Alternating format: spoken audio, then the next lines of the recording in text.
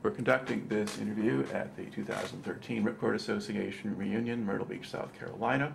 We're talking to Peter Senft of Dover, Delaware, and the interviewer is James Smither of the Grand Valley State University Veterans History Project. Okay, Peter, can you begin with some background and start with where and when were you born?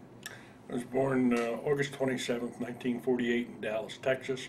Okay, did you grow up there? No, I actually lived there for about a year or two, and then uh, my family uh, relocated to North Jersey, and then very quickly out to California, and then back to North Jersey. And I grew up in North Jersey, in Bergen County, New Jersey, in a town called Ridgewood. All right, and what did your family do for a living those days? My father was a textbook publishing executive um, with a number of different publishing companies. And uh, in the late 40s, early 50s, he got transferred a lot. And that's why we wound up in Texas when I was born, back in North Jersey, which was the home office for his company, Prentice Hall. And then he was West Coast. Uh, he was in charge of sales, textbook sales on the West Coast, while we wound up in California, and then back when he was promoted to uh, vice president of sales for Prentice Hall. All right, and when did you finish high school? Finished high school uh, June of '67. Okay, now, uh, what did you do once you got out of high school? Went to college for a year at uh, Morris Harvey College in Charleston, West Virginia. Majored in drinking and chasing women, and caught mono and lasted exactly one year. And my father brought me home and said, uh, "You're going to school at Fairleigh Dickinson for a year. If you don't get all straight A's, I'm not paying for any more college." So I went to Fairleigh Dickinson University in Wayne, New Jersey for a year. Uh, wound up with uh, the equivalent of a B plus average. He said, I meant what I said. And I said, okay. Without telling anybody, I went down to an Army recruiter. And I said, show me what you got. And we went over it, and I, the intelligence field looked interesting to me. So uh, I enlisted, and that would have been a 90 day enlistment, delayed enlistment. So that would have been March of 69. Okay. Went home and sat at the dinner table right. and said, I enlisted. Now, at this point, you know, Vietnam War has been going on, and certainly in the news. How much did you know about Vietnam at that point? Quite a bit. Quite a bit. I had followed it. Okay, uh, and so you're when you enlist, you're expecting there's a pretty good chance that's where you're going to wind up going. I volunteer. Okay, all right. And now to go in into intelligence work, do you have to score a certain level on tests, or do you do that before you go in, or how does I that did work? take a test uh, just to make sure that I was at a level that I would be accepted. Right. Okay. So you're going to qualify for that, and you get a 90-day delay before you start. So you're go- going in in June. Uh, where do you go for basic training? Fort Dix. Okay. So you stay in New Jersey. Mm-hmm. All right. Uh, and, and what was the what was basic like there? What did they do? What was the atmosphere there? Everything was geared for Vietnam. You know, um, you got to take this 20 mile hike because it's what you're going to be doing in Vietnam. You better learn how to shoot this weapon properly because it's going to save your life when you get to Vietnam. You better learn this. It's going to, you know, this discipline will be invaluable and save your life in Vietnam. Everything was geared to Vietnam. All of our drill instructors, um, all of the cadre were Vietnam veterans, and uh, they did a lot to get you ready for Vietnam. But that was just basic training. So Okay. And that actually is, is different from what a lot of guys report, because often their basic doesn't always get geared for that. Uh, also, did you have any sort of 90-day wonder sergeants who were helping out in the training, guys who hadn't gone anywhere yet? no, Okay. So you're not seeing any of them? no, I did not see any of them. The only, I mean, the company clerk may have been an E3 at PFC. Uh, I don't remember any. Very few corporals or spec fours. Uh, and I think because they were all over over in Vietnam, very few sergeants. Everything was E6 and above. Okay, so all guys who've been there and come Yes. back. All right. And uh, now, how easy or hard was it for you to adjust to military life? Growing up, my father was a disciplinarian. My father's idol was George Patton. Uh, my father fought in World War II with the 5th Infantry Division and was wounded in combat. And the greatest disappointment of his life was that he never got to go to West Point. So my father was a disciplinarian. The ability to adapt to discipline, minor. Yep. I had very few problems uh, getting along. Now, was that unusual for the men you were training alongside? Did they have more trouble than you did? You know, it, it, it's, I can't say that. I can't say that. Uh, I don't remember a lot, but I can't say that. It was all pretty much, Okay. we were all a group. All right. And were a lot of them draftees? Or do you not know? Believe about sixty percent were draftees. Okay. And what kind of attitude did they seem to have? The draftees? Yeah. I gotta do it, I wanna do it, and I wanna get home alive. Okay. So they are kind of getting with the program and, and doing that. Right. Now, uh, now being from New Jersey and being at, at Fort Dix, did uh, you get any occasion to ever go off the base during basic, or do, you, do they just keep everyone there together? You know, I don't remember ever leaving the base at Fort Dix and going into Wrightstown or whatever.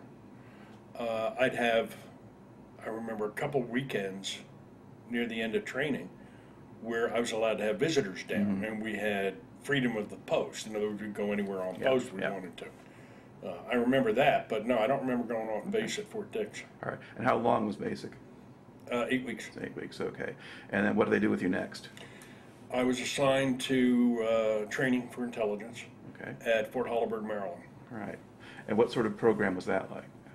How would you describe that? That was different, much more relaxed, discipline-wise than what we had at um, at Fort Dix. Um, very little weapons training. I mean, none. Uh, very little survival training. This was training for you to do a job. Um, analyzing, I was initially I was a combat order battle intelligence analyst in '97, uh, um, a 96B, 96 Bravo and the basic job was analyze what the enemy, what you were facing, and present that picture to the commander. Right. Our instructors were from all different branches. I remember a Marine captain we had, Captain McKenzie, was just incredible. What a great guy. Um, you know, we lived in a barracks and had to go through inspections, of course, and all of that, but it was much, much more relaxed. So it's really largely classroom work and Yes. yeah. Yes. Okay. Uh, and and how long did that program go?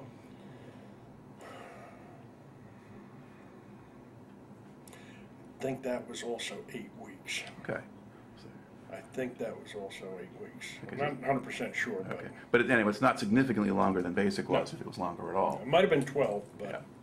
but, All right. and then, uh, then I was volunteered for something called Shake and Bake. Um, instant NCO. Mm-hmm. And I remember the pitch that the major made to us. He said, only the top ten percent of this class will be accepted for, um, program, I can't remember the official name of the program, but whatever it was. Mhm. And, uh, I think I was number two or three in the class, and, uh, he said, what you need to understand is you'll go through this program, you will come out an E five. And you're, I remember this, you're gonna be shotgunned all over the world. Some will go to Germany, some will go to Alaska, some will go to Korea, some may go to Greece, some may go to, uh, Vietnam, obviously, some may stay here in the States. And of course, it was a sixteen week program, and when we all graduated, every single one of us went to Vietnam. Mm-hmm. So it was like a shotgun on full choke, right up a map of Vietnam. And the guys I went was in class with were spread all the way from I guess I was the furthest north, all the way down to the southern part of South Vietnam. Okay. So now, did you do the NCO training? Yes, Okay, so you did take that. Mhm. Okay.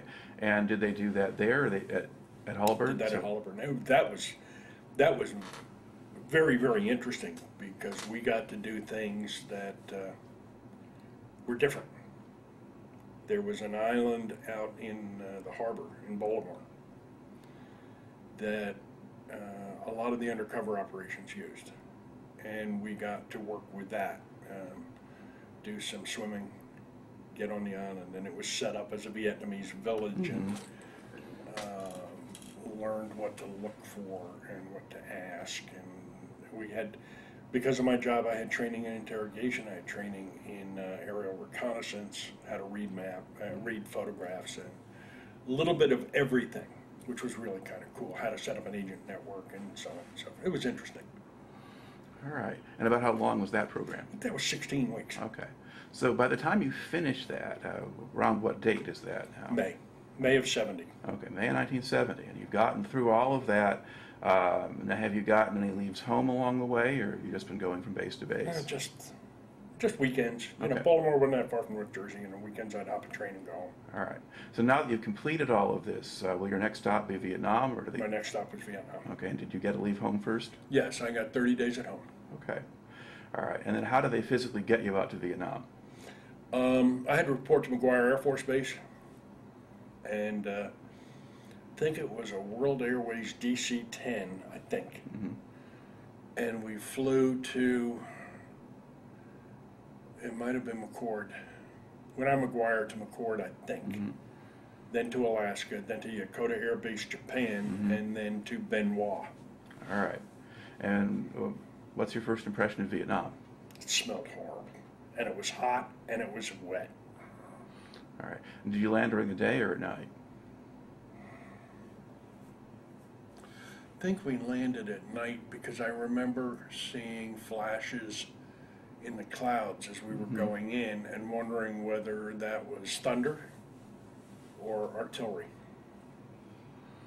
All right. And you land at Bien Hoa, get out in the hot and the wet and so forth. What do they do with you? Put you in a, we were in a hooch, and it was like a barracks. Mhm. And I wasn't there for a day or two. Right. And my orders were cut for headquarters, headquarters, S2, headquarters, and headquarters company, 3rd Brigade. Okay. And for the uninitiated, what does S2 stand for? That's the intelligence office. You have right.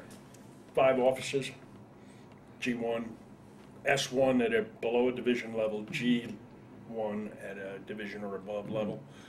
Uh, S2 is intelligence, S3 is operation, Right. S4 is supply, S5 is psyops, and S1 is personnel. Right.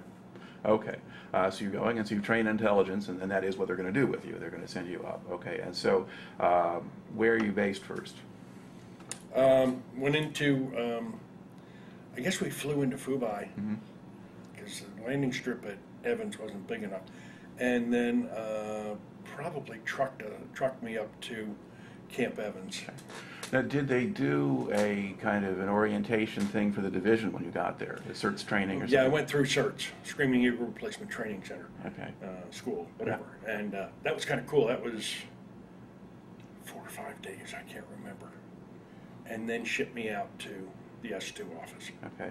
And the SERTS training, was some of that stuff new to you? Yeah, uh, rappelling. I had never rappelled. I learned how to rappel. Mhm. And you had to, everybody in the division had to know how to rappel. Yeah. So that was kind of new, different. Okay.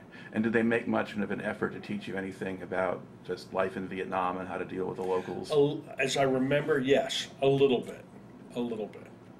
Um, it wasn't as hard as I thought it would be. All right. Uh, so you finished that, and now you're assigned to the headquarters that are right there at Camp Evans, at least is where you're based. So um, when you get first go and join the unit, uh, what sort of reception do you get? What do you have to do?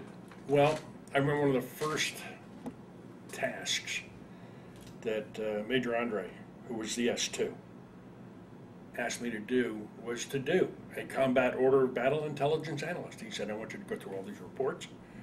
And there were uh, radio intercepts, there were POW reports, there were um, net agent network reports, there were sightings, aerial photography reports. So I had all of these reports in front of me.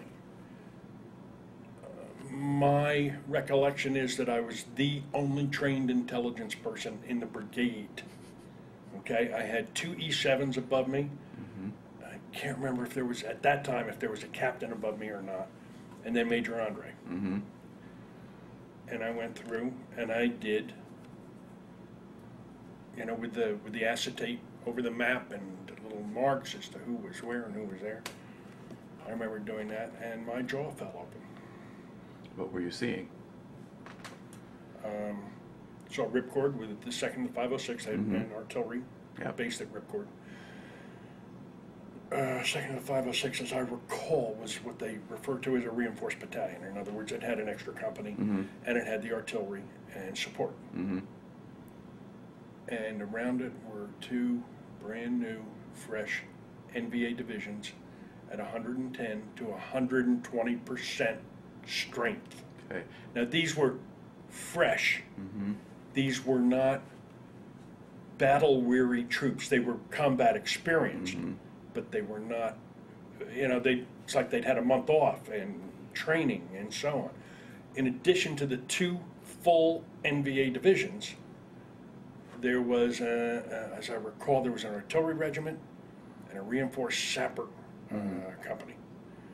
Um, that's what, uh, there, there may have been more, I just don't remember. I mean, literally, my jaw fell open because you're looking at ten to twenty thousand enemy versus a battalion that's under strength Yeah. to begin Right. with. Uh, my, my recollection, and, and I, I may be totally wrong, my recollection is that second of the five oh six was between sixty and seventy-five percent strength. Yeah. That's my recollection, and it's not gospel, but Yeah, that's and, what I and then as you, you you get in, into July, I mean, eventually you'll have companies with as few as fifteen men in them. So, yeah, they were not in good shape. And, and my job, what they had me doing, was working a twelve-hour shift at the Brigade Operations Center on the S two radio. So that when things were at the absolute worst, Mhm. like when that company in Second and Five Oh Six got hit, I worked, I worked the radio that night. Mhm. I heard all this on the radio. I called in the, the uh, DC three, I can't remember what they called it, the flare ship. Mhm. You know, they made the request through me, bring in Right. that, I, I can't remember what they called that thing. Yeah, but it- that provides the illumination. Beach ball or something, yeah, Yeah. yeah, that dropped flares. All right. Um, Did you start up, was it, was it, did you start on that duty in June or in July? June, Okay, so it's in June. So report is, I mean, it's the fully blown seed is right starting beginning of, of July, but there's a lot going on even in June, and then pretty quickly it, it, it accelerates and, it- and it gets worse. Uh, What was the mood in, in, in the, your unit in the headquarters as this is going on? Uh, Are they acting like, you know, this is new and different, or were they being very No. businesslike? no, it was very businesslike, very businesslike. And it's one of the things that I appreciated about this unit. Mhm. You know, you get to a unit and you say, how's it gonna go? Is everybody here for themselves with a single objective, Mhm. no matter what it takes to get home alive? Or is everybody here for everybody else? Let's get the mission done. And that's the way this unit was. All right. And how much contact did you sort of have with, with higher ups beyond your, your major? I mean, did you see much of, of, of Colonel Harrison or Oh, yes. like? Oh, yeah, I saw Colonel Harrison every day. Um, At one point, and I don't remember when it was, Colonel Harrison, I think, was up over the area. It was in late afternoon, and I was in the S2 Mhm. office. Westmoreland and Abrams came in. I don't know where Harrison was. Mhm. Okay, now Westmoreland, I th- thought had gone This was like, now this was a But he was coming back for a visit. Yes. And, or- or a change or something. I don't Yeah, remember yeah. why, but they were both They there. were both there, all right. And Creighton Abrams looked at me, because I had to brief him on, Mm-hmm. from the intelligence Yeah. standpoint, nobody else was there. And he looked at me and he said, son, what would you do? And I said, "Uh, sir, I'm a spec fob. You don't want to know what I'm going to do. And I- He said, I asked you a question. He, he said, you're intelligent, what would you do? I said, well, if it was up to me, I'd use tactical nuclear weapons and nuke the A Shau Valley and make it uninhabitable for anybody to be in there for the next 150 years. And he looked at Westmoreland and said, see, I told you. And I don't know what that meant. Yeah, There were a couple times when I briefed Hennessey when he came in. Uh, He was not there during Ripcord. and that's the division commander. Correct. Uh, Sid Berry, Mm-hmm. uh, and uh, Olin E. Smith. Uh, I can remember sitting down with Olin E. Smith, who I thought was just a wonderful person. Okay, now what was his role? Berry was, Berry was assistant commander of the division. uh, Olin E. Smith was the XO, Okay, was the executive. One was XO and one Yeah. was assistant division Right, commander. right. And I don't and then remember and which Berry was which. assistant commander, so. Yeah, but uh, Smith was cool. Smith had come up as an enlisted man, Mm-hmm. all the way up the ranks, and he understood. And he could sit down with a Spec 5 or an E4 or, or whatever and just say, hey, what's going on? Um, the first week that I was with S2, interesting story, because I'm cherry in country. I'm new. Yeah, Uh, Major Andre comes into the S2 one afternoon. He says, and he says, uh, Pete, you're going up in the Nighthawk tonight.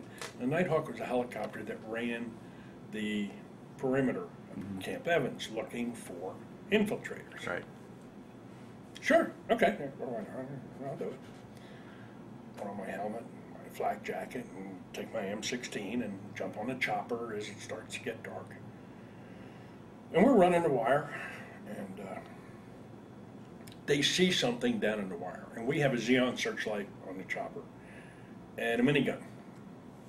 And uh, so they bank around, and the door gunner opens up with a minigun like miniguns do every time you fire them, it jammed. Mm-hmm. So the door gunner yelled at me, "Give me your 16." Well, he knows what he's doing. I don't know what I'm doing. Here, take my 16.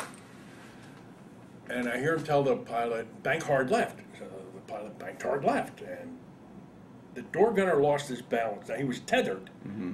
but he still lost his balance, and he grabbed for the pole.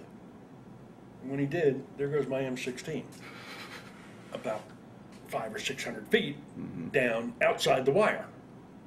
How do, how do you explain that? I mean, mm-hmm. what do you tell the, the armor at the company mm-hmm. when he says, "Where's your M16?" Well, it's outside the wire. So, well, the next day, a bunch of guys went out and did get it, did recover the weapon, but that was my initiation to, you know, firing at somebody Okay. and, and contact. And the other thing, the, the other point is back about a week before we evacuated Ripcord. One of the companies, and I think it was Alpha, second to 506, was in a firefight, and they captured a weapon that had never been seen in South Vietnam before, and it was a Hungarian folding stock AKM, Mm-hmm. Modified AKM. And I remember Andre came in and he said, uh, Senft, you're running out to Ripcord and pick up this weapon. I knew what was going on, but, you know, and yes, sir, I'll do what I'm told. And they got on the chopper. I was- on a supply chopper, you know, I went out there. And all I had to do was jump off, run into the operate to the top, the operations center, grab the weapon, and come out. When I came out, the chopper's gone. And it was a day or two before they could get me off. Okay. So So that's like, my on-the-ground experience with Ripcord, and it was the scariest couple of days of my life. okay. Okay, this is again about mid-July, then a week about a week before Yeah, they abandoned the Probably place. between the fifteenth and the eighteenth, Okay. somewhere in there. But before the artillery battery blew up. Yes. Okay. Yes. Yeah. So what was that couple of days like? How do you describe that? What were you- what were Scared you- to death. And what, were you? I was in the operations center. Okay. Uh, I think I spent almost every moment down there. Um, it was just, like I say, it was cramped. It was hot. Um, you know, I, I, I worked the radio a little bit. Mhm. I slept down there. You know, and then next day they got me out. Okay. And what kind of feel did you have for the situation there? Did things seem to be under control as far as you could tell? Yeah, I mean, I had nothing to compare it to. And, you know, in retrospect, yeah, we were getting incoming. We were getting, I don't know, 40 to 50 rounds a day of incoming, mortar, and so on. Um, and I'm scared. I mean, sure, I'm scared. Anybody would be scared in that situation. Um, but you do what you have to do. And, yeah, I wasn't a hero. I didn't do anything spectacular. Uh, I didn't fire my weapon. I did what I was supposed to do. Right. And what impression did you have of, of the personnel there, of the officers? We're going to get the job done, Mhm. officer and enlisted men. You see, I that was the whole impression I got, and still get from every single person I talk to. Is um, they're proud, very proud, of the unit, of the division, and the job that the people with this division have done Mhm. Since its inception. I mean, all the way through World War II, uh, you know, Battle of the Bulge, and all of that. I Mhm. mean, it's the attitude of McAuliffe when he said nuts Mhm. to the German commander. And, you know, it's part of what makes me extremely proud to have been a part of the history. I mean, I'm lucky as hell. Couldn't have been with a better unit. Okay. Now, one of the uh, interesting things about your experience is that you've got at least some sense. You get out into the field periodically. You've got some sense of what's that like. That's like, but you're also back uh, in the base areas, and a lot of people. Um, out of this unit and others say, well, life on in, in, the rear area was quite a bit different from what it was out on the fire bases and in the field. And they talk about issues with discipline, with racial tensions, with drug use, or things like that. Uh, how much of that, if any, did, did you observe? There's a lot of drug use. Uh, personal observation, not a lot. Didn't do it. Mhm. Didn't like it. Um, there were too many scary things about it. Oh. When you're in a situation where your life depends on your being able to react, and it's, I mean, we used to get incoming at, at Evans too, Mhm. not on a regular basis. Um, there were people like in base defense that made sure that didn't happen real often, Mhm. and if it did, there was outgoing immediate, Right. immediately. Um, drinking, oh yeah, I mean when I wasn't after ripcord, when I wasn't on uh, on the desk, yeah, I used to drink a fair amount. Uh, you know, you, I was a kid. I was 20, 21 years old, 22 years old. You know, a bunch of us get together and have a party, and uh, you But- drink. Okay, but not the sort of thing that interferes with being able to No. do your job. Oh, no. Yeah. And, and, and, and I have to honestly tell you, and maybe this is naive, maybe it's because I didn't go looking for it, I didn't see any of that. Mhm. I didn't, thank God. Um, I, ju- I, and yeah, there were guys who said to me, hey, you want to try? No, I don't want to try. Yeah. Thanks, appreciate it. But you're also in a unit that's probably going to be sort of more highly trained and, and, and often in rank and things like for a particular group that you're with, a mo- particularly motivated group too, and probably less likely to do any of I that. don't disagree with that because Okay. many of the people that were in the headquarters company who worked hmm in the operations center and so on came out of the field. Okay.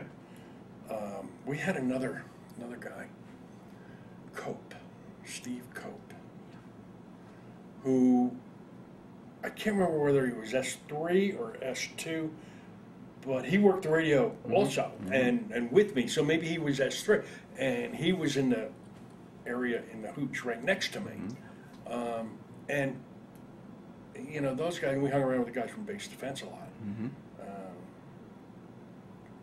no, I They're doing their it. job too. I didn't, and these were guys who had an infantry, had a combat background. Not necessarily that they were ever shot at, hmm but they were trained in infantry combat, and I wasn't. hmm Okay, uh, Cope had been out in the field. Um, there's another guy who got who died who was in for a while in in the operations center. Um, Cope, Paul Cope, and I became very good friends with him.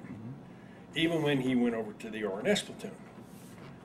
And no, I didn't see any of it. Uh, I mean, yeah, I know it was there.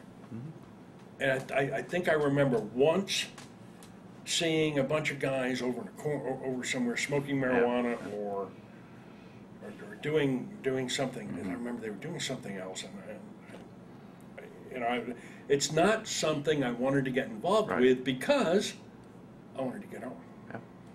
Because that is one of the things that, that I found striking in doing this is the degree to which units still function. Because you read of all the stuff, and a lot of what's in, in the literature and so forth is, oh yeah, you know, the military's all falling apart and uh, and that kind of thing, and and it, it's not fitting. I mean, you get incidents that happen in certain places, and often at home or in Germany, uh, but we're still functioning. Yeah, and I heard those stories too, especially about Germany. Yeah. I had no desire to go to Germany, none, because I didn't want any part of that culture. Okay. Let's going to go back in here to, to what you are doing, experiencing now. Um, you spend, do you spend a full year in Vietnam? No, um, I was short. I think forty days. Okay, but somehow I came back early May. Okay, but you still have got most of a year there. Yeah. Uh, and do you spend it all with the same basic assignment?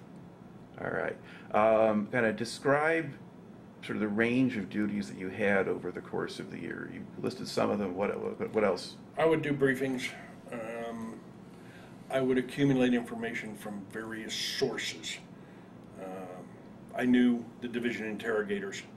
There were times I'd go help with an interrogation. Um, I knew the guys from ASA, uh, the Army Security Agency that do the radio intercepts. We affectionately call them the Army Softball Association, because they aren't real soldiers. no. no. Um, Did a lot of work with the RNS platoon because this, these guys were my eyes on the ground. Okay, and is that reconnaissance surveillance Yes. or? Yeah. okay. And I went out with them two or three times uh, with Paul because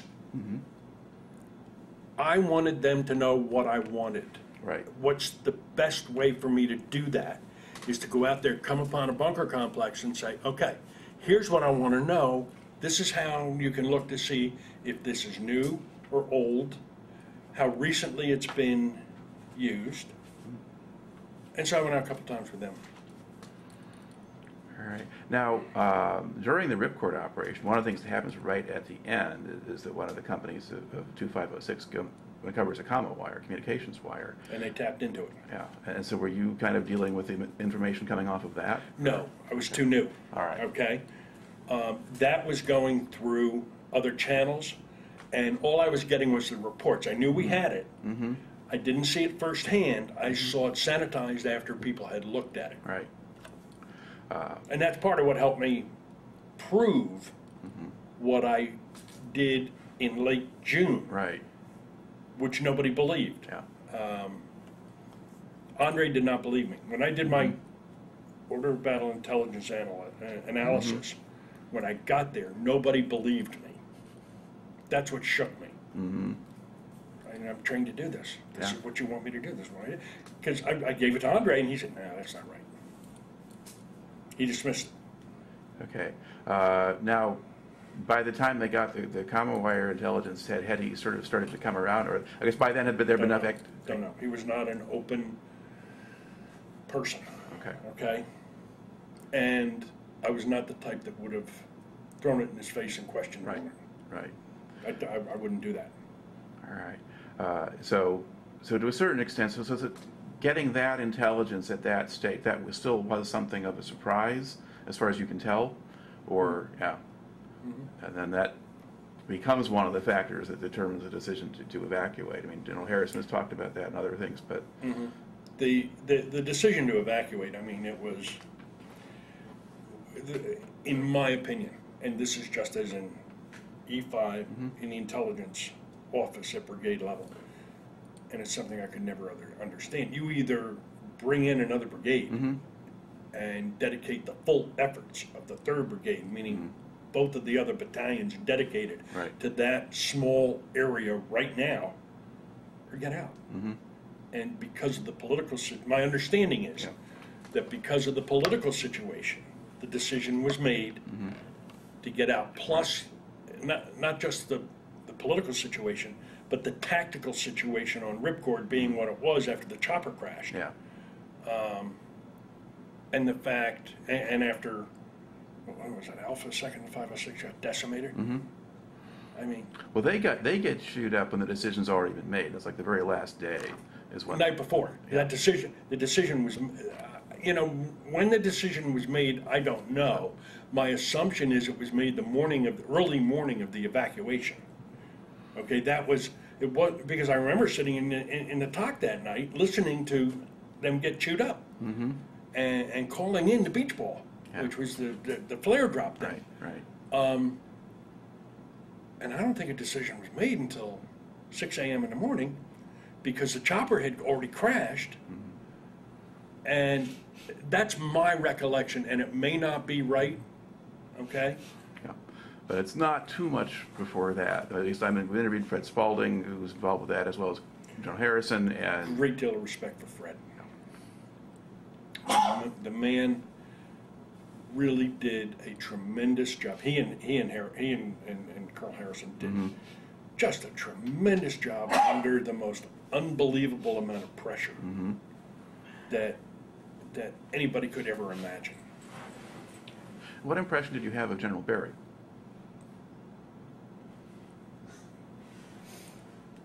Um, General Berry was a by the book, no deviation, and the expression we had was a strack asshole. Okay? General Berry was with the unit when 101st was up at Khe Sanh. Brutally hot, 110 degrees, 100% humidity. And I had heard a story about him being up there, visiting up there. And there were guys walking around without flat, flak jackets and just helmets. And he just ripped them and made them put on fatigue jackets and uh, uh, flak jackets and in 110 degree heat. I mm-hmm. mean, that's the way he was. He was a by the book. In m- this is in in my Right, my, right. my opinion of him. Mm-hmm. General Smith, because of his background, understood. It was like General Berry didn't understand. Mm-hmm. It's like in any situation, there are two, maybe three ways to do things. The way the book says you do it, and the way you do it in actuality, and then the right way to do it. Okay? General Smith was by the book. Uh, I'm sorry, General Berry was by the book. General Smith was the right way to do it. Okay? So these are the things that that I remember, that I saw. All right. And of course, both Harrison and Spaulding were also men up from the ranks. So There's kind of a pattern sometimes. Well, you see, at the time, I did not know that General Harrison had enlisted in 46. Yeah. Um, I was the kind of guy who just, because of my upbringing, you don't question Mm-hmm. when somebody says, do this, you do it. Then if you want to question, you can question. All right. Uh, now, describe what the, well, the interrogation sessions, would these be with, with enemy prisoners Mm-hmm. or whatever? And could you get useful intelligence from them? Oh, absolutely. Um, I want to make one thing perfectly clear. You've heard horror stories about torturing by Americans of POWs. You know, throwing people out of choppers and so. First up, you throw somebody out of a chopper. That's a source that you've just killed. Yeah. Okay, that doesn't make sense. Was it done? I don't know of one instance, but that's me. It mm-hmm. may have been, but I don't know of any instance. The point is to describe what you saw. Torturing, I never saw any torturing of prisoners. Uh, when I worked with the interrogation unit at the, at the division level, if we could not get what we, what we wanted from a prisoner, we'd go for a cup of coffee. And we would come back 15 minutes later, and this guy would tell us anything we wanted to know. How or why? I didn't see anything happen. Right. Did something happen? There's no question something happened. Did we do it? No, it was not us. It was the Arvins that did it. And that's how we got information. All right. And, and what sorts of characters would be, these would be ordinary soldiers you'd picked up? or- Yeah.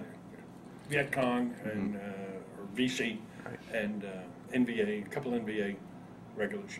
Okay. Now, Ripcord gets evacuated 22nd, 23rd July there. Uh, and then what other things do you do after that? I mean, you mentioned being on a fire base called Nancy. That was later when, Right. When the Army of South Vietnam invaded Laos. Okay, Lam Son 719. Yeah. Exactly. Fire Support Base Nancy was up on the road, nine clicks south of the DMZ. And it was on the road from Quang Tri to Khe Sanh. And it sat right on the middle of that road, you know, that, that stretch. Um, that was kind of cool.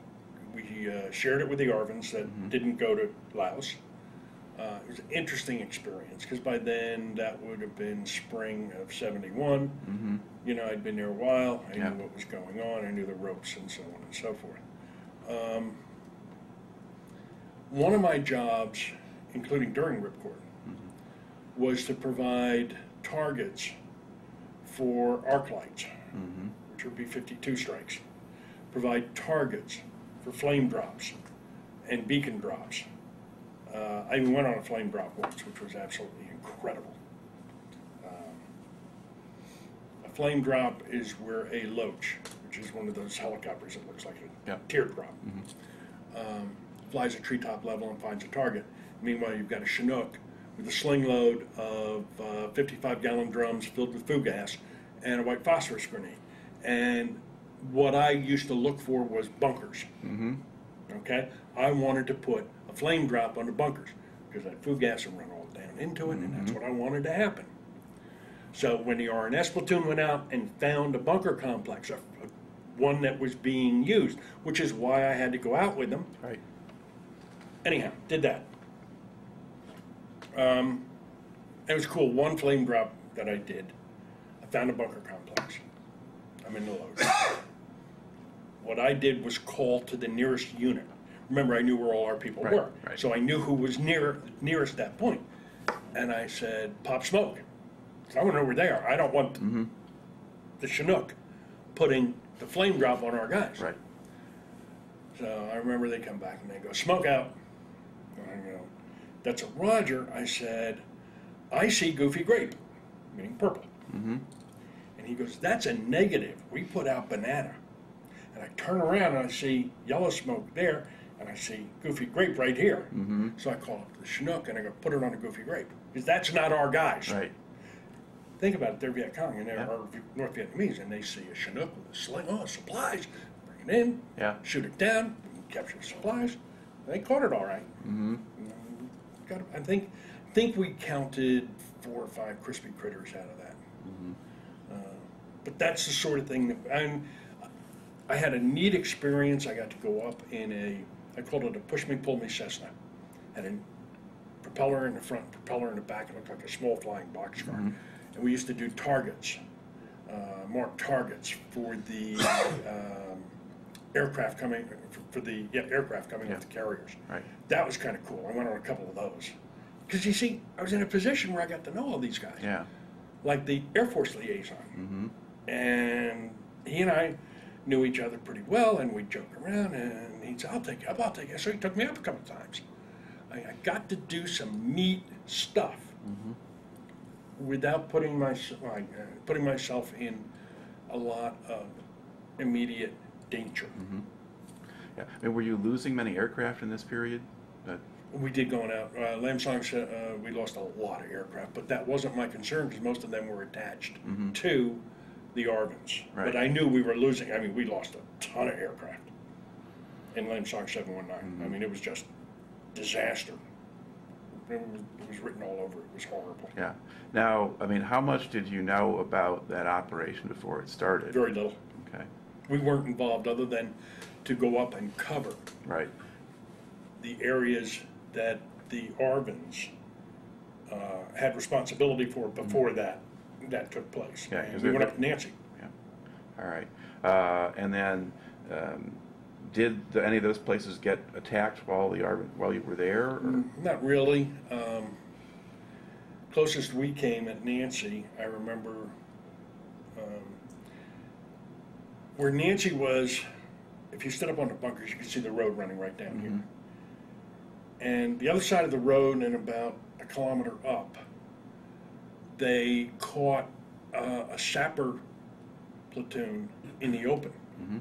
And called in Cobra gunships to take care of it. And this was five or six o'clock at night, and it was dusk. And I remembered there were three or four Cobras on station, and they were you know circling, Mhm. and they'd come in and they'd put the nose down, and you could see this pink exhaust coming out of the gun pods, and they uh, chewed up that sapper unit Mhm. with flechette rounds, which was just cool, brutal but really cool. Sort of giant shotgun effect. Oh yeah, oh yeah. And uh, the other thing is, I remember when we were up on Nancy, they brought in via the road uh, eight-inch SP, self-propelled, eight-inch Mhm. guns Right. to support Lam Son, and, and those monsters shook like hell. Uh, I can remember they'd fire and rats would fall from the rafters of the bunker, dead from the concussion. Um, I remember I was in the I, I was in my uh, my office bunker, uh, and I was right next to an ASA bunker, and I hear uh, thump, which is the sound of a mortar tube. Mm-hmm. And then a couple seconds later, I hear whomp, whomp, whomp, whomp. I incoming? What do you do during incoming? You hide, but this one. So I go and stand up on top of the bunker. Not the smartest thing in the world to do. And I'm watching. I'm looking down into an Arvin mortar pit, Mm-hmm. and they're shooting mortars. And I look out to where they're landing, and there's a herd of water buffalo out there. They were getting dinner. Oh, I mean, half the time, the mystery meat we had in, in, in, at the mess hall, we deemed as being water buffalo. That's what was indigenous. Now, was mystery meat preferable to C rations? Oh, yeah, oh, yeah, no question. But the best of all were lerps. Loved lerps. I mean, the chicken a la was just, just incredible. Absolutely incredible. Um, we had a guy in uh, base defense, and uh, he was there. Well, I was there for about the first six months, and we became best friends. I mean, I see him. You know, we've we've remained friends ever since then. We see each other a couple times a year. Man, he could scrounge anything, anything. Uh, I remember his DEROS party, date eligible to return from overseas. We had steaks and ham, and we had this, and we had that. Uh, I remember one of the officers, one of the brigade staff officers coming in and Hey, Frankie, where'd you get this? I don't know, sir, it just showed up. Mm-hmm. but if you wanted anything, he could get it for you. I mm-hmm. mean, and every unit has, if, if you remember, what was the movie? Was it The Longest Day where they escaped from the German prisoner of war camp? The, the Great Escape. Great Escape, okay. And James Garner played that role mm-hmm. of the scrounger, Right. okay? That's what this guy was. Anything you wanted, no problem, I'll get it for you. Price for it, Yeah. but I get it for you. Yeah, we sent a lot of different kinds of things to Vietnam, and enterprising people could find them, Yes, they could. especially if you run a large base like that. Yeah. Especially if your parents sent you a care package. He was Italian, Frank Mm-hmm. Italian. And his parents would send him a care package with salami. and- oh man, just great stuff. He'd share it and trade it. Mm-hmm. You know, it was that simple. All right. Um, now, looking over the course of, of, of your tour there, are other particular things that kind of stand out in your memory about what you saw, what you did? You know, I have a very interesting mind. My mind tends to bury a lot of bad stuff and really keep it down. I, mm-hmm. I, I don't have weekly or monthly nightmares. About mm-hmm. once or twice a year, I'll have a screaming nightmare and I'll wake up. And it's usually the same thing, and then I wake up screaming, Frankie, get down. Um, the other things that stand out in my mind are good times after General Harrison left, he was replaced by uh, absolutely wonderful man by the name of David E. Grange, Colonel David E. Grange. He retired with three stars. His son also retired with three stars. Okay, what a great down to earth guy. You could walk up to him, talk to him like I'm talking to you. Um, he was out near Fire Support Base Jack, and I'll never forget. I had five days left in country. My turtle is in. I'm short. I'm so short I could sit on the edge of a dime, and my feet wouldn't reach the floor. the, my only responsibility is to show up for the five o'clock briefing. Five days left in country, and the bunker where we held the briefing was right next to his command pad. And I'm walking up by the wire next to the pad. His chopper is coming in, and he's screaming off the chopper, Pete, Pete, Pete. Oh, God, what's he want now? He lands. They pull two dead pigs, wild boar, mm-hmm. off the chopper. He comes up to me.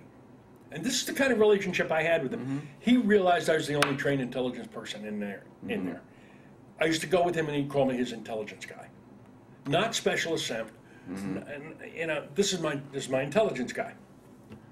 Pete, Pete, Pete, come here. Yes, sir. What do you need? He said we shot five pigs out near fire, right outside Fire Support Base Jack. Mm-hmm. Yeah, okay. Where are the rest of them? He said they're out there. I want you to go get them. no, wait, no. You got to understand something, sir. I have five days left in country. No, I'm ordering you. You get on a chopper and you go out and get. I said, sir, I don't have a flak jacket, no helmet, no weapon. Don't worry about it. Here's my helmet. What does he have on his helmet? Right here. Well, a star or two. A little bird. A bird, a bird. It's a little colonel. Okay, Yeah. yeah. yeah. He gives me his flak jacket, and what does he have here? Little birds. Okay. Gives me his his his um, Remington 870 because that's what he and I both carried them over there. And he said, "No, they chopper pilots know right over there. They're gonna set down. You're gonna jump off the chopper. You're gonna throw them on the chopper. Come back. We're gonna have wild boar for you when you DEROS." Sir, I'm short. Do you under? Don't worry about it. Go. Okay. And we go out there. I've, uh, I've been that scared since ripcord. We go out there and there's elephant grass, six foot elephant grass the chopper lands. I find two of the three pigs I'm supposed to get, throw them on a chopper. And I'm going to get back on a chopper. I trip on something. The third pig is under the the the the, The skid of the the helicopter? skid of the helicopter. Okay, so the helicopter got to lift up and throw the pig on. I had a great great party. I can remember I used to every two weeks go down to uh, Da Nang for an I-Corps briefing, and I'd always commandeer a chopper and run down. I remember coming back once. We always flew right over Hai Van Pass, and I remember we got a Vietnamese elk and brought it back, strung up like this under the skids of the chopper. Um, those are the things I remember. I remember some of the parties we had. I remember a Christmas party that was just hysterical. Um, it was actually held on the 23rd of December because on the 24th, I came home for two week leave. Um, I took my R&R in the spring in Bangkok. Uh, it was just, those are the things I remember. And, the- and the everyday stuff, I remember I worked the radios. And after Ripcord, wasn't a lot. Right. Now, what was it like to go, basically, to get out of Vietnam for a while, whether to go home or to go to Bangkok? Really, de- really decompressing. Okay, really learn what life is back like back in the world. Uh, I actually landed back here. Um, I think it was December 26th um, for two week leave, and uh, that was a lot of fun for those two weeks. Um, a lot of stories associated with that. You know, hooking back up with my best friend and his girlfriend going upstate New York to get drunk because North Jersey had a drinking age of 21. Yep. His girlfriend was not 21. He and I were both 21, but his girlfriend wasn't. So we'd go upstate New York to Perunas and the Joker and uh, Ramapo Inn and the Mothers and all those places and get drunk. And then I would drive back because in his car because he was he and his girlfriend were too. Uh, it was just Yeah. you know, stories like that. Um, a New Year's Eve party. My parents always had a huge New Year's Eve party.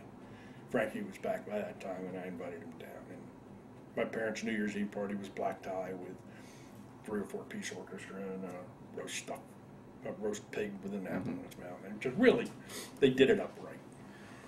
And was it okay to go back to Vietnam after Yeah, that? it was. Okay. It was, and I viewed it as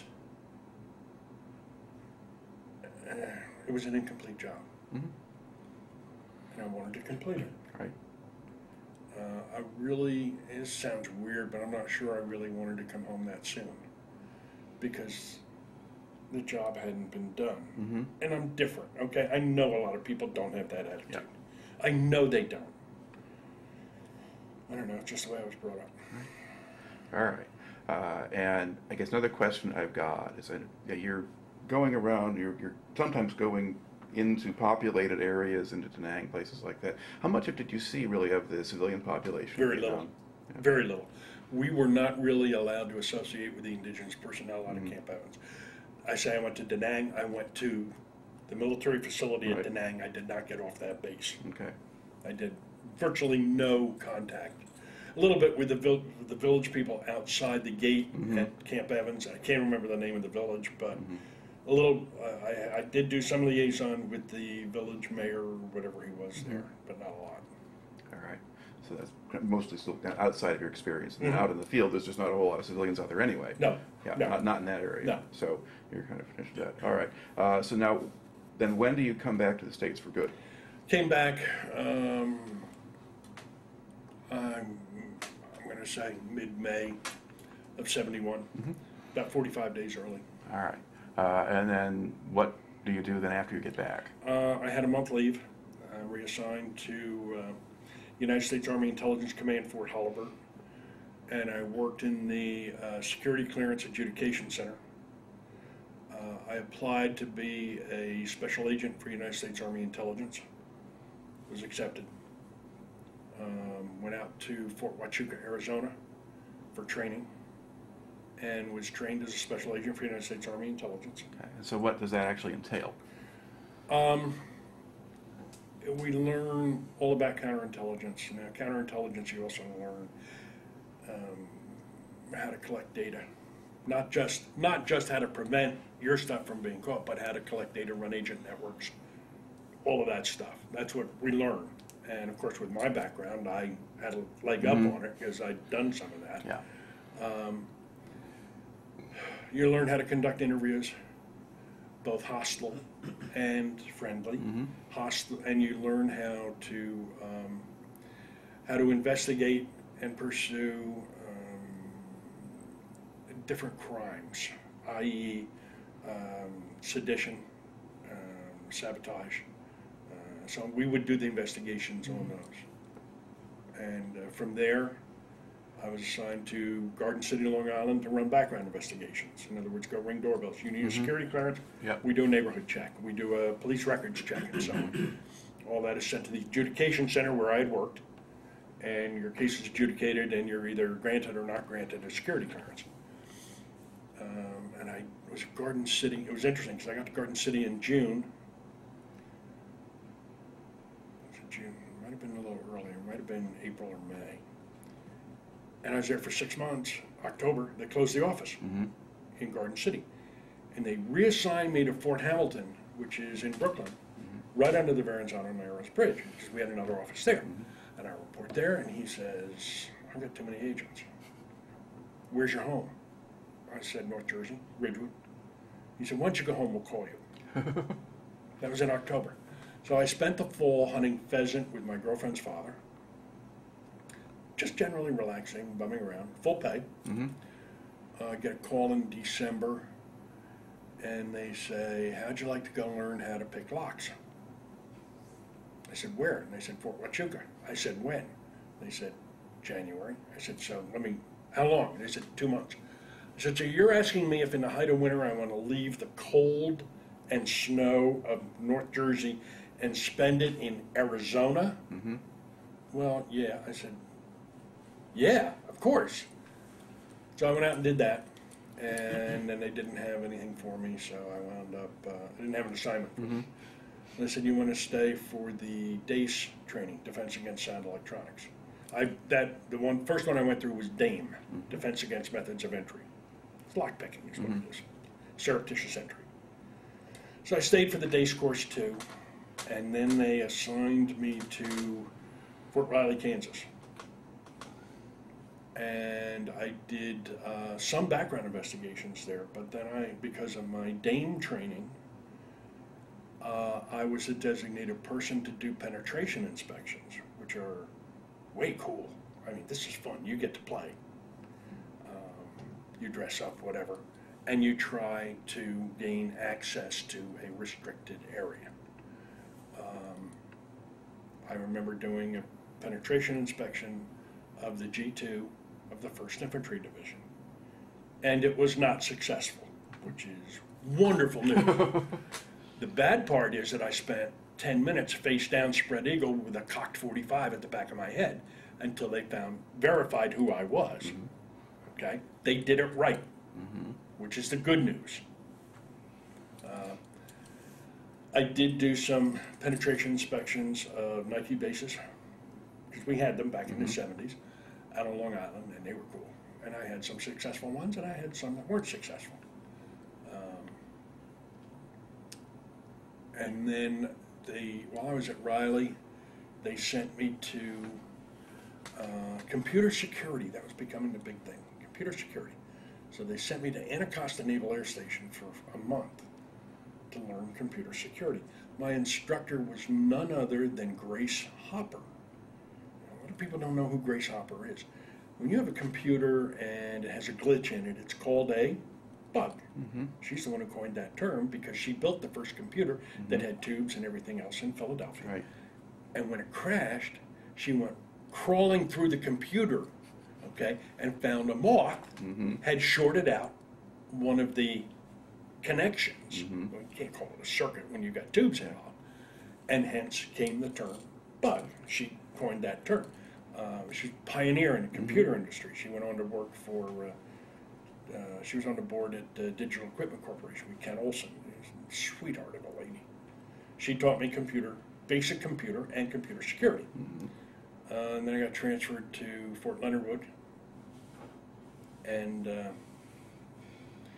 interesting story there. I got involved in an organized crime investigation.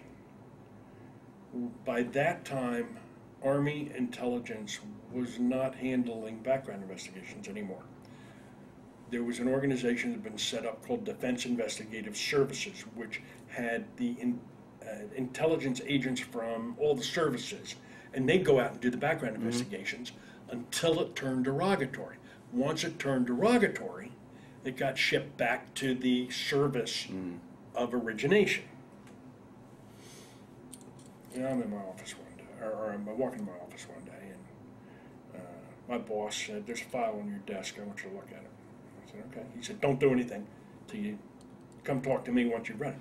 Well, I go in, there's a note on the front of the file saying, "Take no action on this case until you contact," uh, and gentleman's name, IRS Intelligence, Springfield, Missouri. And I'm "Ooh, neat." and I open it up, and this is a woman who had enlisted for a position with the Army Security Agency, requiring a TSSI clearance, crypto, all that mm-hmm. stuff. Come to find out, she had been employed by organized crime running a brothel in Springfield. And at this moment, I'm going to have you pause because a woman who had apparently been running a brothel. running a brothel down in Springfield. And so I read the file and uh, went in and talked to my seat, uh, my boss. And he said, You got to go down to Springfield and talk to the IRS. Okay. So I go down to Springfield. I'm not going to mention the gentleman's name. Um, the gentleman was a native Oklahoman and the epitome of what you would think of a cowboy from Oklahoma. He stood six six. His shoulders were this wide. His waist was this big. He wore cowboy boots and chinos and a, and, and, and a western shirt. Just a wonderful, wonderful. And he and I hit it off immediately, very, very well. So he filled me in on the whole thing, and he said basically what it is is that you're walking right in the middle of an organized crime investigation involving Fort Leonard Wood. It is being contested right now. Fort Leonard Wood is mm-hmm. by the Giordano family out of St. Louis and the Black Mafia out of Kansas City. They're both fighting over control because twice a month, now Fort Leonard Wood has basic training and AIT. Mm-hmm. And it has a twice a month payroll of $2 million going in there, and you got these kids with nowhere to spend their money. So, what is rampant is prostitution, drugs, and gambling. Um, most of the law enforcement in that area was paid off. There were trailers that were blown up, there were gun battles out in the open. Um, basically, what we found out is local police, uh, two towns, county, uh, and the local barracks of the Missouri State Highway Patrol, all on the take. Local FBI agent is running kitty porn. Um, absolutely incredible. Um, there, the cab cab company was running prostitutes on Fort Leonard Wood because there's no federal regulation against prostitution. There was a P, Army private PFC cook who's driving a brand new Fleetwood every six months, who is an integral part of this. I mean, it really was a very in-depth investigation. Um, and we, I did a report about that thick with this agent from the IRS, and we went up and jointly presented it to the U.S. Organized Strike Force uh, Assistant Attorney General in St. Louis, uh, Organized Crime Strike Force, Right. and so on. Where else are we going to take it? Uh, you can't take it to the state police. Nope. I mean, there was one night I spent with him because the mafia, organized crime, was building a facility at Lake of the Ozarks. Building an R and R house, with- and one night we were up on a hill with binoculars watching him build this place. It was just weird. Um, and I'm going to tell you that 75% of that report was civilian. You know, talking mm-hmm. about civilians, mm-hmm. not military. Yeah. Well, like most good people, I kept a copy of it, which was a huge mistake. That's a major violation mm-hmm. of Army regulations. We had an Inspector General come down, go through our files. I thought I had pulled it out. He found it. I was given an Article 15, and at that point, I basically decided, you know, I don't need to play these games. I'll get out of the service. So I did. All right.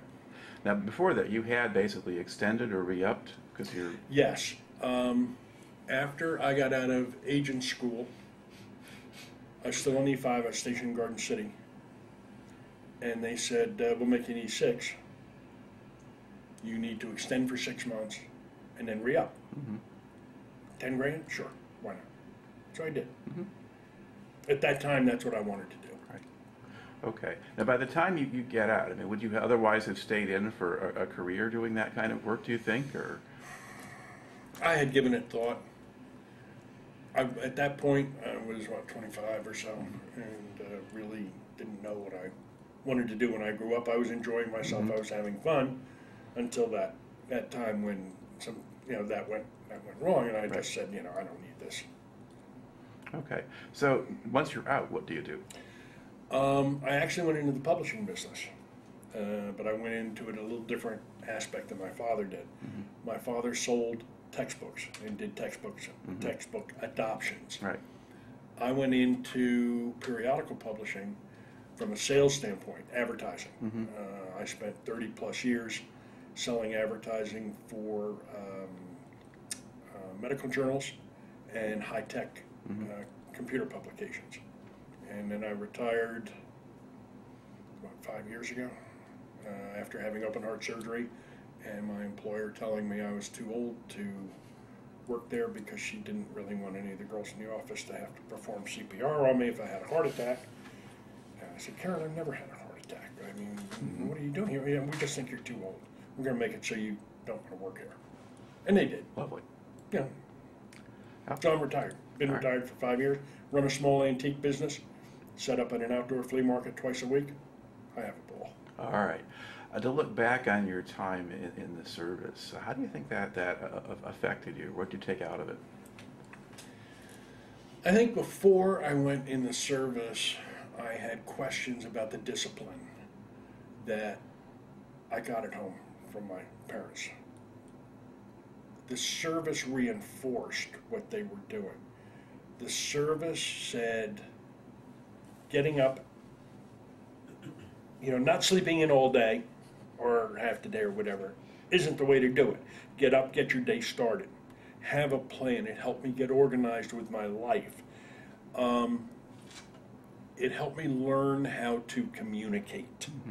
I mean, communication is one of the one of the best things anybody can have today is the ability to make you understand what what's on my mind. Okay, training I went through as an as an agent: who, what, where, when, why. Mm-hmm.